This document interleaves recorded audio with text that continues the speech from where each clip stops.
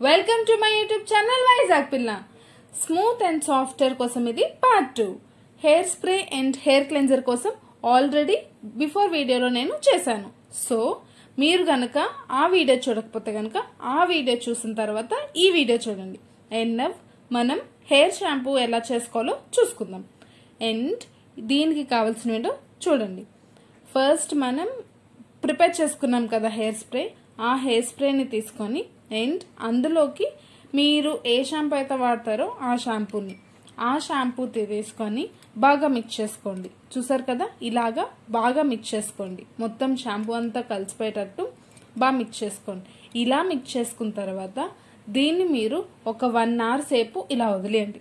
బాగా మిక్స్ చేసుకున్న తర్వాత ఒక వన్ అవర్ సేపు ఇలా వదిలేసిన తర్వాత అండ్ వన్ అవర్ అయిపోయిన తర్వాత మన హెయిర్ షాంపూ రెడీ!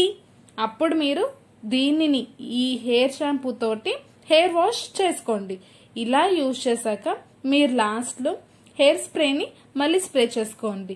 మీరు ఇలా చేయడం వల్ల మీ హెయిర్ చాలా సాఫ్ట్ అండ్ స్మూత్గా అవుతుంది. ఫస్ట్ ఇలాగా యూజ్ చేసినప్పుడే మీకు ఎఫెక్ట్ అన్నది తెలుస్తుంది. అండ్ అలా అలా యూజ్ చేయగా మీరు అసలు ఏ కండిషనర్ కూడా యూజ్ చేయరు. అంత సాఫ్ట్గా అవుతుంది మీ హెయిర్. సో మీరు దీన్ని డెఫినెట్గా ట్రై చేసి మీకు ఎలా వర్కౌట్ అయిందో నాకు కామెంట్ సెక్షన్లో చెప్పండి. అండ్ ఈ వీడియో కానీ మీకు నచ్చినట్టయితే don't forget to like share comment and subscribe to Vizag Pilla thank you